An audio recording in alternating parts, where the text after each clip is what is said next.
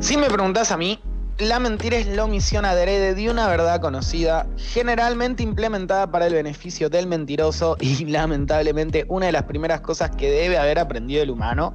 O sea, me los imagino ahí a los dos cavernícolas, uno ocultando una piedra detrás de su espalda y el otro perdiendo absolutamente la cabeza. Mentir es medio una garcha. Las mentiras en el 80% de los casos solo generan cosas negativas.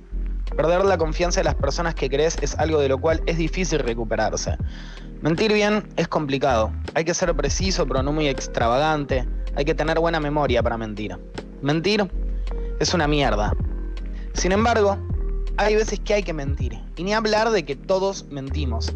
Hay veces que hay que mentirle a personas que queremos, a desconocidos y demás, y generalmente es para beneficio propio o para evitar muy, entre comillas, una catástrofe. Mentir es como hacer trampa en la vida, digamos. Es como meter una mano en el área y esperar que nadie se dé cuenta o chorearte un ancho del mazo con disimulo. Y de nuevo, está mal.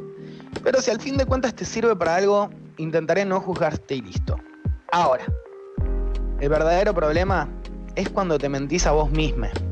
Ahí estamos complicados en serio y por varias razones. Para empezar, si te mentís a vos mismo, ¿qué mierda gana con la mentira?